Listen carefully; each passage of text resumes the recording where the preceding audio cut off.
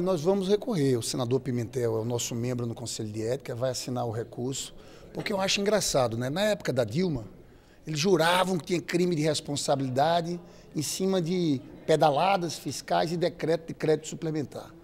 No caso do Aécio, a Polícia Federal filmou o seu primo recebendo 500 mil reais. A gente viu o dinheiro, a entrega do dinheiro, pela televisão e por tudo. E não tem indícios. Quatro malas de 500 mil reais. Então é escandaloso. É, então nós vamos entrar com esse recurso. Eu espero que essa decisão seja modificada.